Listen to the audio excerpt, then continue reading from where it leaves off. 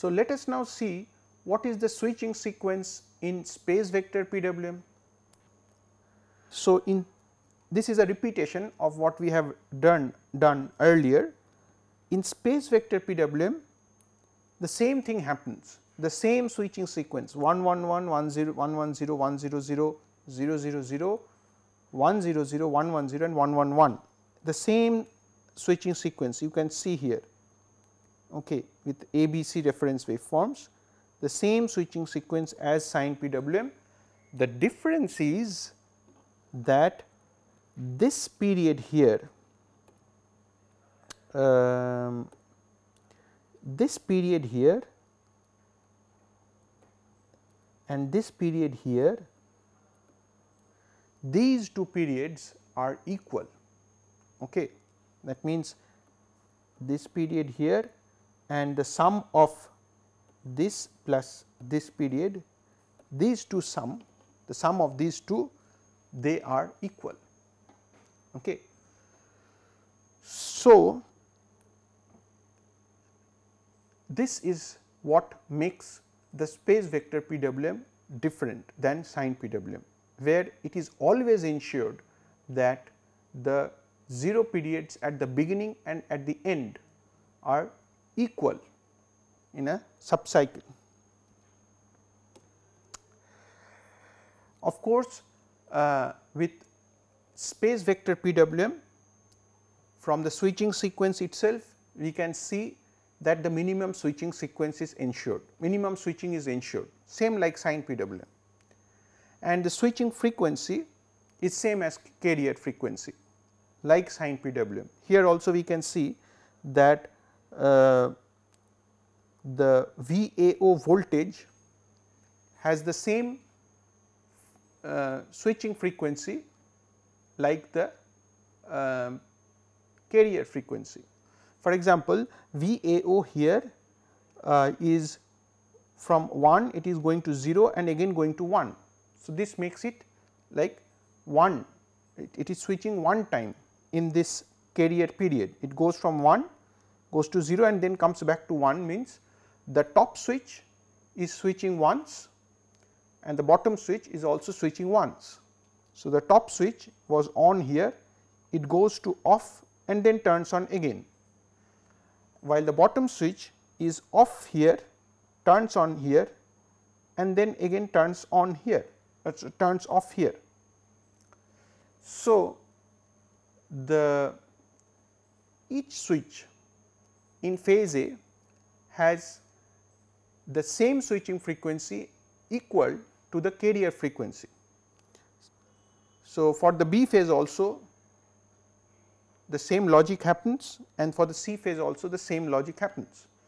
So, switching frequency of devices in the converter is same as the carrier frequency. So, by observing the switching pattern, the minimum switching, the switching frequency everything we can say that space vector PWM is an extension of sine PWM and probably it can also be realized using carriers. The only challenge which, that we have now is to make the two 0 vectors equal which is not happening with a sine PWM. So, we have to make a strategy such that the starting and the ending vectors have equal duration and that we should do using carriers. If we can do that then space vector PWM can also be realized using 3 modulating waveforms and a carrier without the need of any sector identification, without the need of any timing calculation etc. So, it can be very easily realized just by comparing 3 modulating waveforms and a high frequency carrier. So, let us see how we do it. So, if we see carefully the sine PWM technique, we see that uh, uh, so these are the three modulating waveforms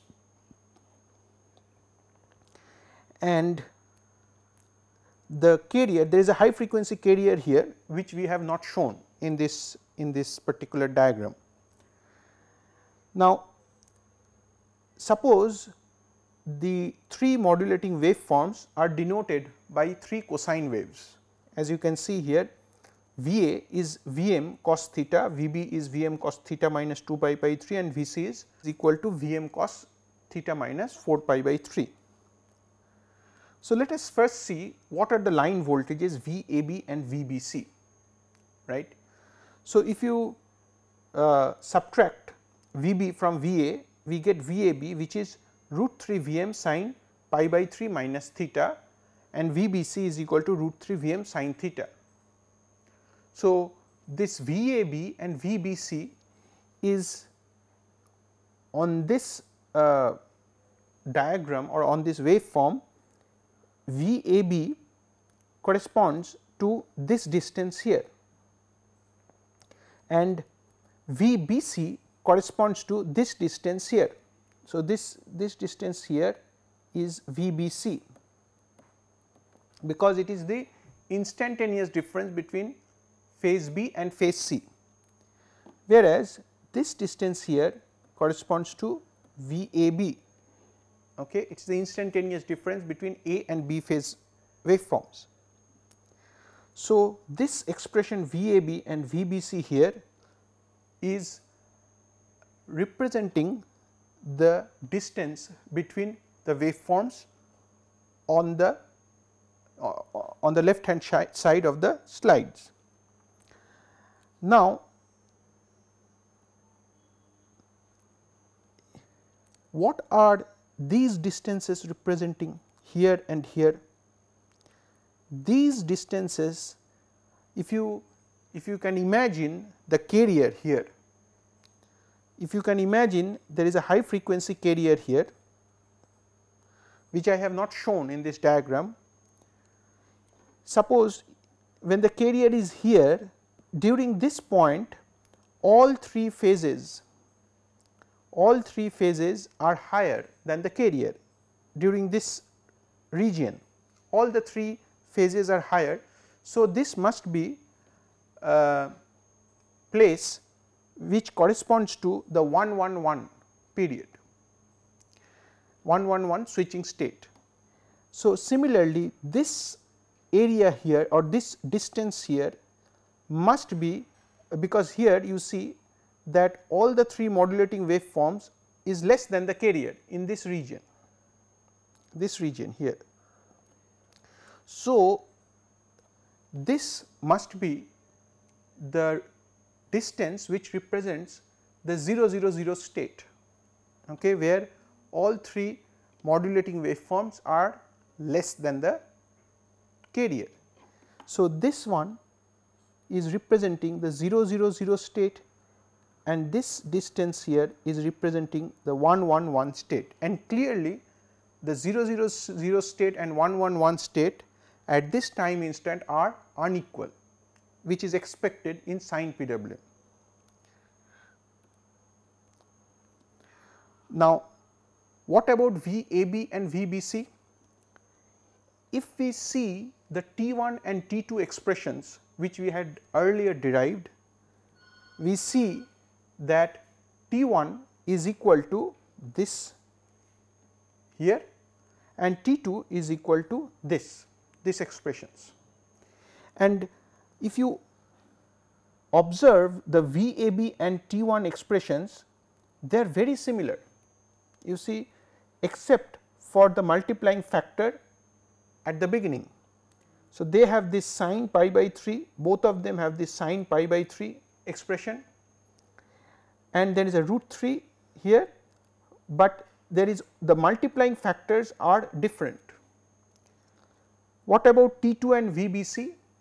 you see that Vm uh, sorry this sine theta and sine theta matches root 3 and root 3 matches only this multiplying factor which can be termed as a scaling factor okay because one VAB and VBC are voltages whereas T1 and T2 are times okay so these scaling factors are same for both T 1 and T 2, but if we can use this scaling factor their expressions are very similar.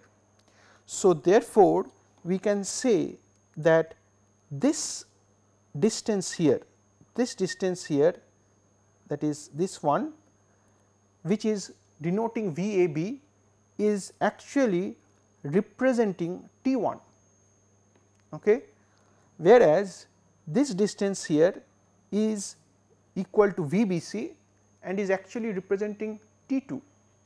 Okay. So, that, that is this one is representing this and this is representing this. So, the voltage VAB is actually representing T 1 and VBC is representing T 2. Of course, this is in sector 1.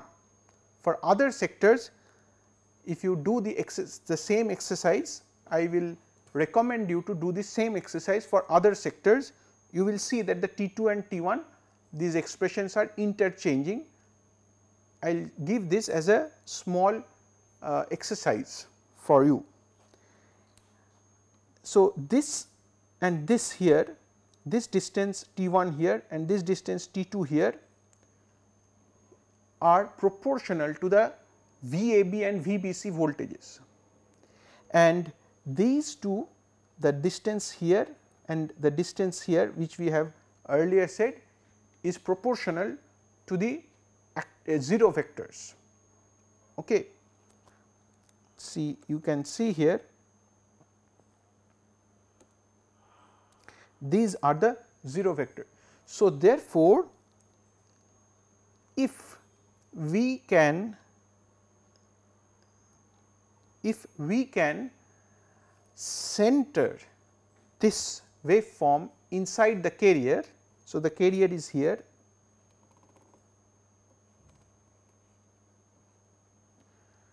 if we can center the waveform inside the carrier such that the distance here, this distance here and this distance here, these two distances are always equal from this plus 1 and minus 1, then we can make sure that the two 0 vectors are equal.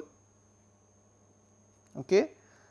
That is by positioning the waveform this A, B, C waveforms at the center between 1 and minus 1 if we can position them then we can make sure that this 0 vector here and the 0 vector here are always equal. Okay. Of course, we when we do this we cannot change T 1 and T 2 vectors because if we change T 1 and T 2 vectors then we are going to destroy the volt second balance equation. We cannot change T 1 and T 2. What we are changing is the T 01 and T 07 those two vectors that their timing duration is only what we can manipulate and we are trying to make them equal without touching T 1 and T 2 vectors or their T, T 1 and T 2 timing durations for V 1 and V 2 vectors in sector 1. So, the whole idea now the whole challenge will be how to center the ABC waveforms inside the carrier such that the two 0 vectors have equal timing duration on the top and on the bottom.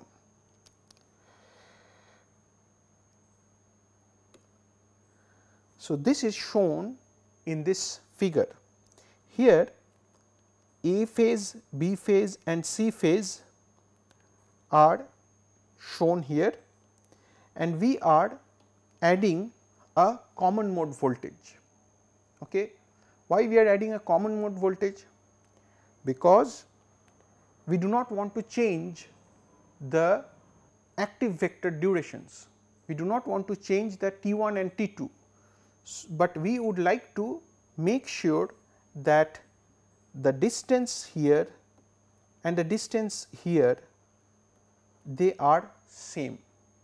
That means, the maximum the height of the maximum waveform from plus 1 or the distance of the maximum from plus 1 and the distance of the minimum from minus 1 these two distances represented by these two green arrows must be equal. So, we are basically here shifting the whole waveform up or down which is indicate which indicates we are adding a common mode voltage. We are adding the same thing through all the three phases. So, what is missing here there is something missing here which I am adding now is this VB plus VCM okay, it is missing in this. So, we have added so original waveform was VA, VB and VC and we have added a same common mode voltage.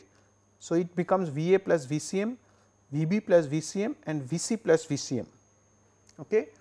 So, that the length of these two arrows the length this distance and this distance here become equal. So, what should be the common mode voltage? So, if you just do the geometry. So, 1 minus V a plus V c m that is this distance must be equal to 1 minus V c plus V c m that is this distance. So, V c m is equal to minus of V a plus V c divided by 2 for this example. Okay. In this example V a was the maximum waveform and V c was the minimum waveform. Okay. This happens in sector 1. So, this VCM was minus of VA plus VC divided by 2. For any other sector the general VCM formula is minus of Vmax plus Vmin divided by 2 okay minus of Vmax plus Vmin divided by 2. So, if we add this common mode voltage to the three reference waveforms all the time, we are making sure that at all points of time the distance of the maximum waveform and the minimum waveform from plus 1 and minus 1 the distance are always equal thereby ensuring that the 0 vector here and the 0 vector here are always equal.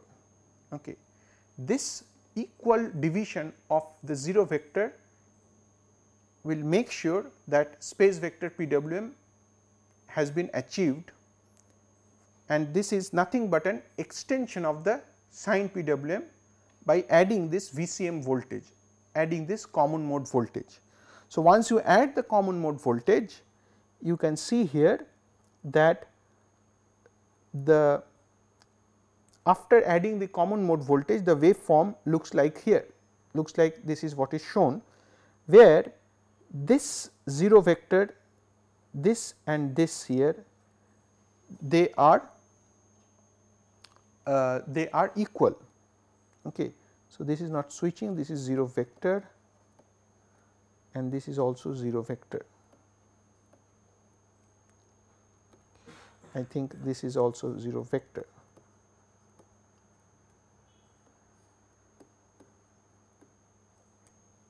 But when we add the common mode remember that T 1 and T 2 is not changing because T 1 is line voltage T 1 is proportional to the line voltage V A B and we have added the same common mode to both A and B phases. So, T 1 does not change V A B does not change T 2 does not change V B C also does not change. So, T 1 and T 2 are not changed in magnitudes then we see the resultant waveform once we have added the common mode voltage. So, suppose we have a modulation index of 1 like sine PWM.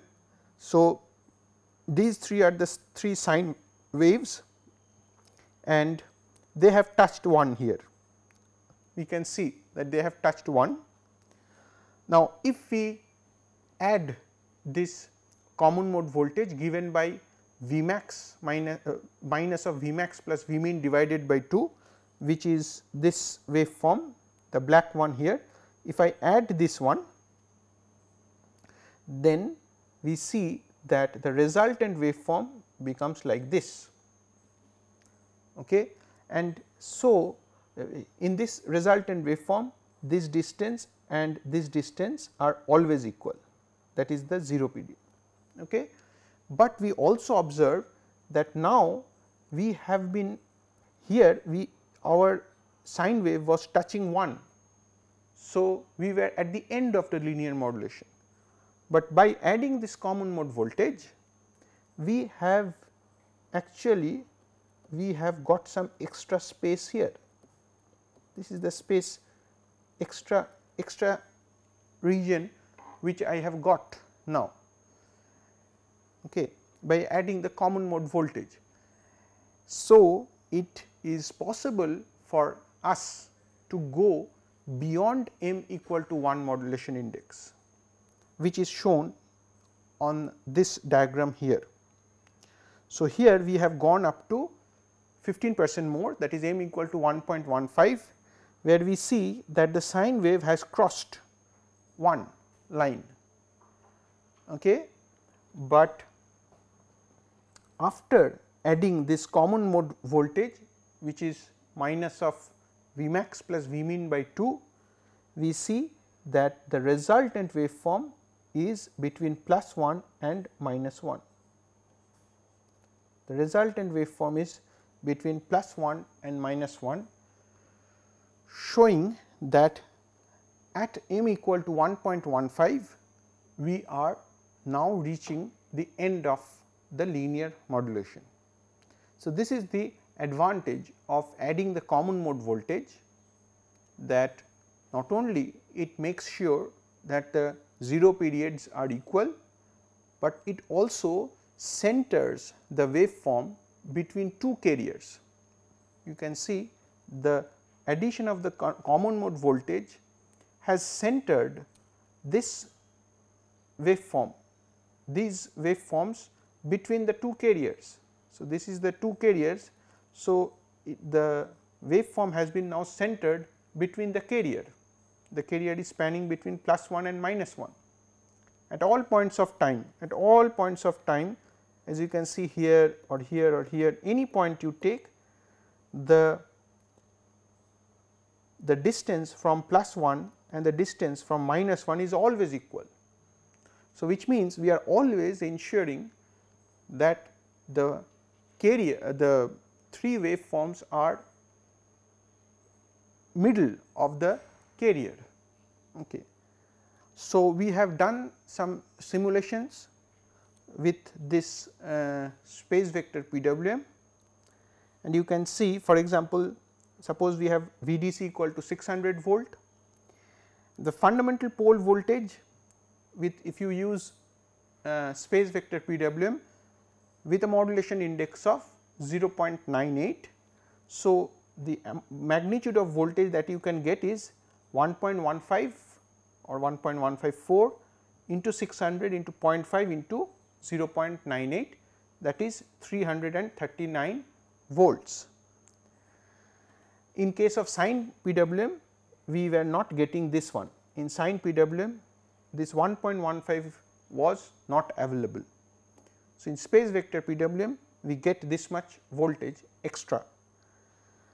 If you see the harmonic spectrum uh, the, the, you have the fundamental here which is again 339 volts and then you have actually all triplet harmonics. Triplet harmonics means third, ninth, fifteenth, twenty first, etc. So, you see here this is the third harmonic, this is the ninth harmonic, this is the fifteenth harmonic and so on. So, all these harmonics will come and this is the uh, harmonic that is introduced by the common mode voltage third, ninth, fifteenth, twenty first etc. They are being introduced by the common mode voltage, but this will appear on the pole voltage, but it will never appear on the line voltage neither will it appear on the load voltage because line voltage is the differential voltage between two pole voltages VAO and VBO So, VAB is nothing but VAO minus VBO. So, it is a differential voltage and so the common mode voltage will get out. So, you can see the line voltage and you see in the line voltage spectrum there is no third harmonic. So, there the, the, there is no third harmonic, there is no ninth harmonic, there is no 15th harmonic like that. So, all these have disappeared. So, the line voltage magnitude is root 3 times the pole voltage magnitude. So, it is 587 or, or like 588 volts and since the line voltage does not contain any triplet harmonics. So, the phase voltages will also not contain any triplet harmonics. So, this is not pole voltage, this is phase voltage here. So, the phase voltage will not contain or load phase voltage will not contain any harmonics. So, we see that in space vector PWM to summarize we see that space vector PWM uh, is nothing but an extension of sine PWM where the two 0 vectors are uh, used equally. It can be realized by carriers uh, just like sine PWM there is no difference. Only thing is that we have to adjust the common mode we have to introduce a common mode voltage. We have to adjust it such that the 0 vectors at the start and at the end are equal in duration and the greatest benefit of space vector PWM over sine PWM is that we get 15 percent more from the same DC bus which was not possible in sine PWM technique.